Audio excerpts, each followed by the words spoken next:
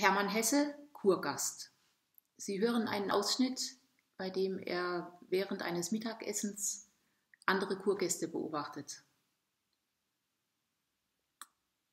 Ich sitze also an der Mittagstafel, sehe den Fisch, den Braten, das Obst einander ablösen, blicke in den Pausen lang und nachdenklich auf die Beine der servierenden Saaltöchter, alle in schwarzen Strümpfen, blicke nachdenklich, doch weniger lang auf die Beine des Oberkellners.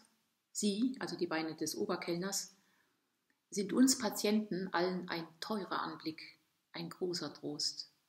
Dieser Kellner nämlich, ohnehin ein sehr angenehmer Herr, hat einst an äußerst schweren und schmerzhaften Rheumatismen gelitten, so dass er nicht mehr zu gehen vermochte und ist durch eine badene Kur vollständig geheilt worden.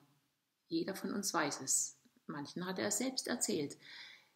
Darum sehen wir oft so nachdenklich auf die Beine des Oberkellners.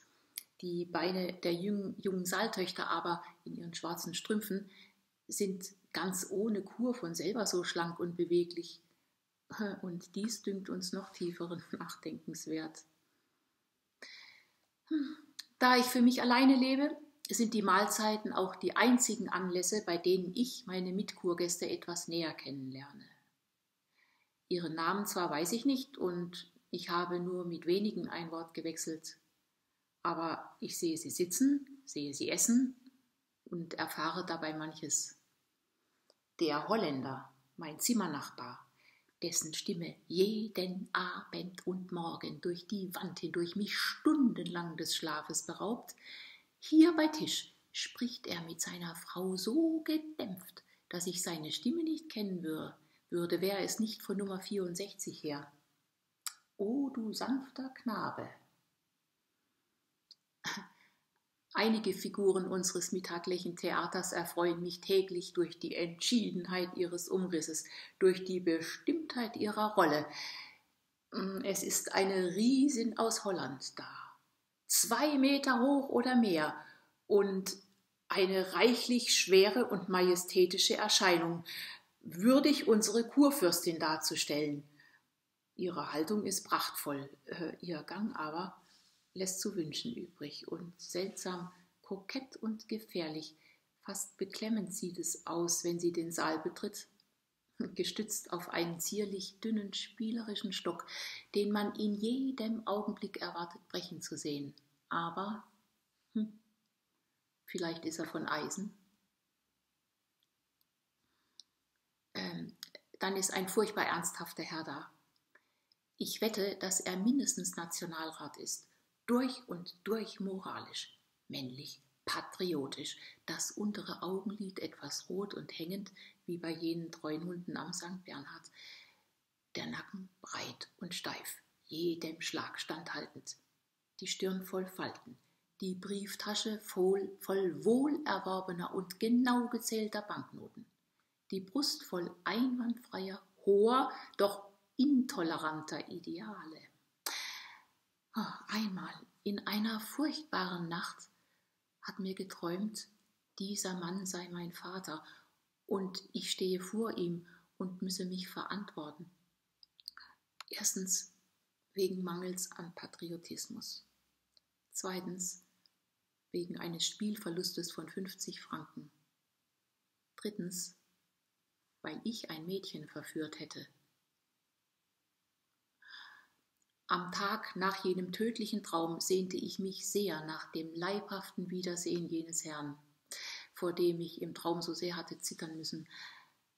Sein Anblick würde mich heilen, denn ähm, stets ist ja die Wirklichkeit so viel harmloser als das Bild unseres Angsttraumes. Der Mann würde vielleicht lächeln oder mir zunicken oder einen Scherz mit der Saaltochter machen oder mindestens durch seine körperliche Erscheinung das Zerrbild meines Traumes korrigieren. Aber als es Mittag war und ich den strengen Herrn beim Essen wieder sah, da nickte er nicht, noch lächelte er. Finster saß er vor seiner Rotweinflasche und jede Falte seiner Stirn und seines Nackens drückte kindliche Moralität und Entschlossenheit aus, und ich hatte furchtbare Angst vor ihm, und am Abend betete ich, ich möchte nicht wieder von ihm träumen müssen. Dagegen, wie hold, wie lieblich und voll Anmut ist Herr Kesselring. Ein Mann in den besten Jahren, sein Beruf ist mir nicht bekannt, aber er muss Hidalgo oder etwas ähnliches sein. Hm. Hellblond wallt das seidene Haar um seine reine Stirn. Zart lockt in seiner Wange das heitere Grübchen. Schwärmerisch und entzückt blickt das hellblaue Kinderauge. Zärtlich streicht die lyrische Hand über die elegante farbige Weste. Kein Falsch kann in dieser Brust wohnen. Keine unedle Regung den Adel dieser poetischen Züge trüben. Rosig vom Scheitel bis zur Zehe, wie ein Mädchen von Renoir. Mag Kesselring in jüngeren Jahren wohl den schelmischen Gespielen Cupidos sich gesellt haben, der Holde? Hm. wie aber dieser süße Bursche mich erschreckte und enttäuschte, als er mir einst zur Dämmerstunde im Rauchzimmer eine kleine Taschenkollektion von unanständigen Bildchen zeigte. Dafür fehlen mir die Worte.